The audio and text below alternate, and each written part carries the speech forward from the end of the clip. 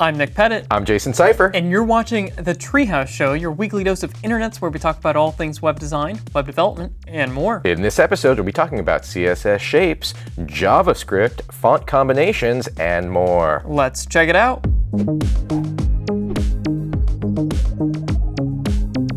First up is this really cool article over on the CSS Tricks blog called Working with Shapes in Web Design. This sounds like it could really get my website in good shape. Don't be such a square, Nick.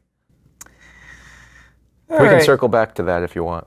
Speaking of circles, you can use the border radius property to set the border radius on an element to make it a circle. Look, it really did come full circle. Bam. Wow. Amazing.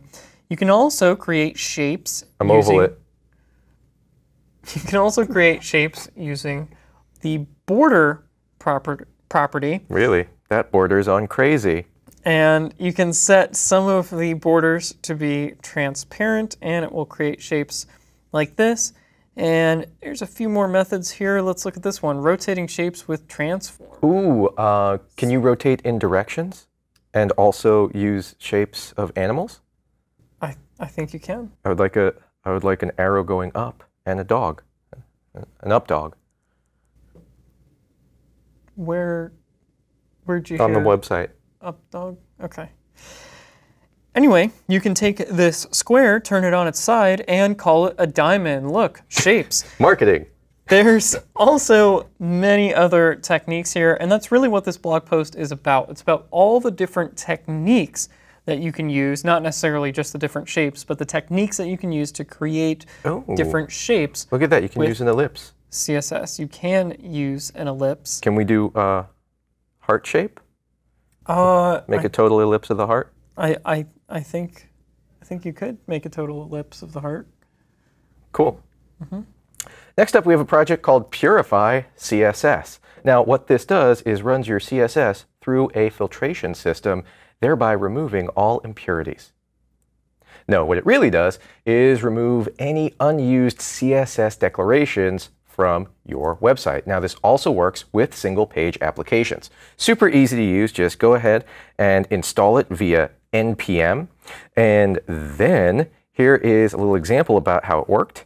Anytime your class name is intact in your code, it will leave that in the site, but if not, you can download a new version of your CSS that has all of the unused declarations removed, and then boom, you are good to go. Now you can save a ton of bandwidth for your users by removing unused CSS declarations. Now this is going to be particularly important if you are using a big CSS or JavaScript framework that has a lot of stuff that you're probably not using all of it in your code, things like Bootstrap, Foundation, tons of CSS, and odds are you're not using all of it.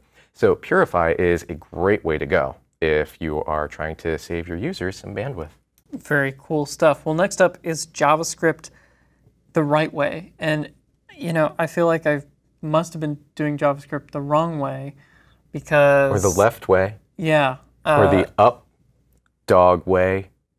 You keep saying that. Anyway, on the site, you can choose your path. So if you're just getting started with JavaScript, here are some good resources for getting started. It tells you, well, what is JavaScript? What's the current version? What is the DOM? And then it gives you some information about JavaScript code style, such as conventions and linting. And let me scroll back up to choose your path. There's other stuff, for example, such as podcasts and screencasts, but you're already watching one of those, so no need to click there. And then you can also click on something like who to follow, and you'll notice that Jason is not listed here. So that's how you know that this is an excellent resource for actually learning something about JavaScript. That's that's mean spirited and upsetting. Next up, we have a JavaScript style guide put out by Airbnb. Now, uh, style guide is really important to follow uh, when you're working with a large team. It'll establish conventions that everybody should use when creating code, thereby making it easier for new members to join your team. also helpful when you're getting dressed in the morning. This is not going to help you get dressed in the morning. Oh wow, this shirt doesn't go well with these arrow functions. Anyway, so uh, this is an ECMAScript 6 version of the JavaScript style guide. There is an ECMAScript 5 only guide as well that you can follow. Now, we're not going to go over everything here because as you can see, there are a ton of different options. But uh, what I really like about this guide is if we scroll down a little bit over here to object creation, it shows you a bad and good way to create different objects. Now the whole style guide repeats this pattern of showing you a bad and good way of doing things, which is going to help you when writing your code. It's going to make things just a bit more readable and also let you learn from it, maybe like learn some new patterns that you haven't seen before. Now, like I said, we are not going to go over everything on here, but there is a ton of good stuff in here. Look at this. For arrays, for example, use the literal syntax for array creation. We don't do new array, just create some brackets right there, boom, good to go. And there, in some browsers, is a little bit of a performance advantage to doing that. So you know that they really did their homework when creating this style guide. Now, uh, next up, we have destructuring, and that is kind of how I feel about the Treehouse show sometimes, and also mine and Nick's relationship in general. So anyway, if you are in need of a good JavaScript style guide, go ahead and check out this link in the show notes. It is right below this video. Next up, we have this website called Great Font Combinations, and that is a great name for this website because that's exactly what it is.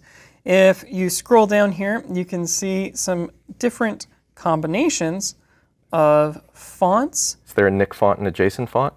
There is not, and I'm not sure really why there would be. There should be. Uh, so there's a couple of different examples here of different types of websites or applications, and underneath each one of them, they point out what fonts are being used. So you can see, well, what's the header font and what's maybe the body font, and it's a good way to kind of get some inspiration and look at these real world of examples of font combinations because I don't like that one. It's not my type. There's a lot of different websites that do this. We've covered some of them in the past. And this is nice because it kind of points out, well, here's what these fonts actually might look like together. It gives you it gives you website. a good baseline for choosing a font. Period. Right. Well, Jason, I think I think you and I are the greatest combination. Thanks, Nick. Yeah. Um, however, we do have some mildly disappointing news. This is going to be the last episode of the Treehouse Show.